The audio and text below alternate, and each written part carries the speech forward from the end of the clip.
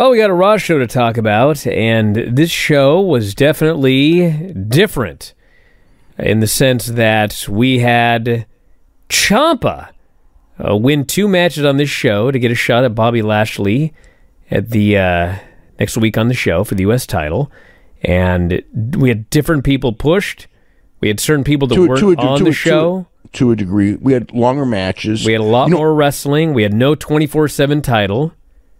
Yeah. Um, I mean, I don't know if that we, we didn't have it. I don't know if it's dropped, but but I mean, it was it was it was not referred to or anything like that. So the key thing, and this is what you know, the rating was going to be good anyway because it's the show after SummerSlam, but they did a commercial free first hour. So the first hour number will be you know much higher because you lose a lot of viewers during commercials, and then even in the second and third hour, they were doing um, the side by side, you know, where they would show it rather than go to the full commercial, which is, you know, like NXT does and like AEW does. Um, but Raw only did that. The only time Raw has done that of late was July the 4th, which they did to attempt to counteract the idea that, you know, July 4th would in theory be a terrible rating rated show and it actually wasn't and that may be part of the reason so you know even though the rating um, would have been up no matter what because it's the show after SummerSlam we might be surprised at how high the rating is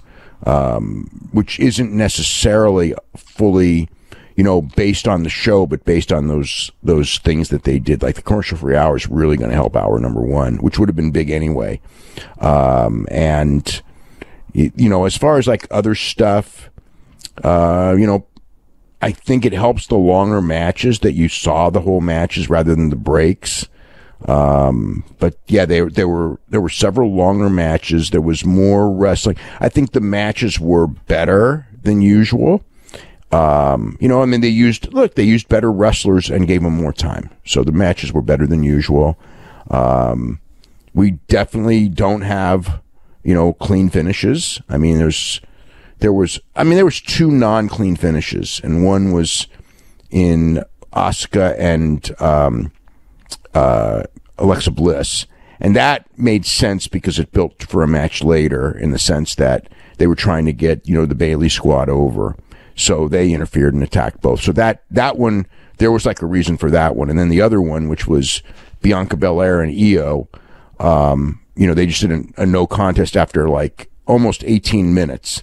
Um, they just had everyone run in, and it was one of those deals where, you know, in this case, it was we don't want to beat either person, so um, that's what they did. They just had everybody run in, and it was no contest because they didn't um, they didn't want uh, Bianca to lose, and it would have been very silly for Io to lose in her debut. So uh, that was uh, that was the deal there. The post SummerSlam clips with Lesnar, and then the main event was the Usos versus Rey and Dominic for the tag team titles. They went 16 minutes, and another good match. Yeah, I liked the match. Yep, Rey was really good, and they gave Dominic a lot of big spots as well to try to get him over. And obviously, the the Usos are great. And uh, at the end there, uh, Dominic hit a big frog splash. It barely got broken up by uh, Jay. Jay Super. Was that was that the one where the fans were booing because um, the referee had a hold, the referee had to hold up the count? Uh, it might have been that one. I, I, I mean, it could have been, but it looked like he he broke it up in time. The ref held up. I, I watched the ref. The ref held up, and that's why the people that's why the people booed, and there was some bullshit chants. So finally, uh, Jay super kicks Rey outside. Dominic hits a dive, and then uh, they're fighting up on the top rope. Dominic and Jimmy, and uh, Dominic pushes him off.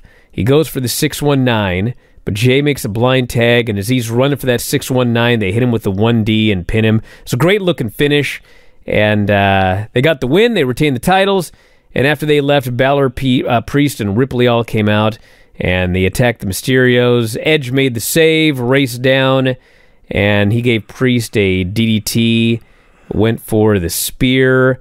But as he's going for the spear, Rhea shoves Dominic, and Edge ends up spe- spearing Dominic.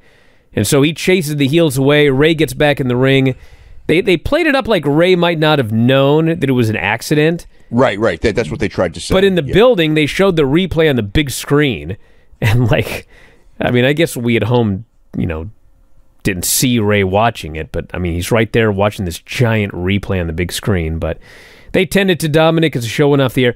I thought this was a good show. It's not like a great show, but a lot of the stupid shit was- that we've seen in previous It- weeks, the booking is better. There's less cornball goofiness.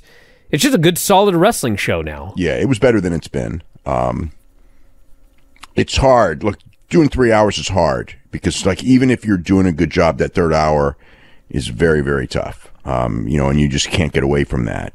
But uh, it didn't. Um, it didn't drag as much in hour three to me as as it usually does. I think that it, you know, Well, they didn't do that last half hour thing that they've been doing forever. where where they just stall and stall and stall. yeah, where they bring them out at 25 after, and then there's, you know, package, commercial, entrance, commercial, package. there were a lot of packages though. There were, but it wasn't like, I mean, it felt like the show kept going. It didn't grind to a halt like it used to.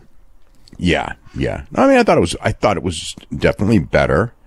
Uh, but you know, again, the original stuff is going to be better, and uh, you know, we'll wait and see. You know, um, it's going to be several weeks before everything's positioned. There's going to be some people who, you know, I I've heard from some talent, and and generally they are positive, but there are definitely people who are, you know, are worried that they're going to lose their spots. And there will be some people who will because you're going to have different versions of or visions of who the top people are. And, and not everyone can be a top person.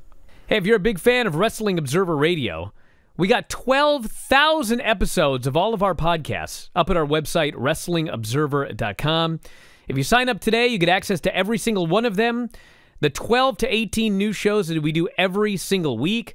You can podcast them, listen to them on the road, at work, working out, in the shower, wherever you listen to your podcasts. And also full access to the Wrestling Observer newsletter and archives. So if you love what you hear, head to WrestlingObserver.com. 12,000 audio shows at your fingertips.